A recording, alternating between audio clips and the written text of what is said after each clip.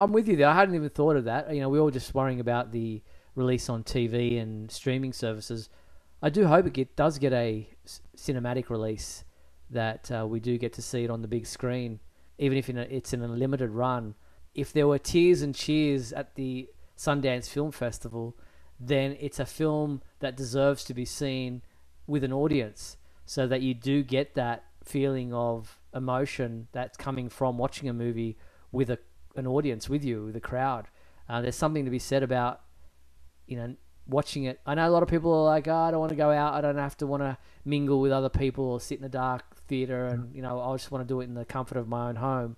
But there is something to be said about watching something with an audience because you get reactions, you get cheers, you get clapping that you'd feel idiot doing it at home, sitting on your own in your couch.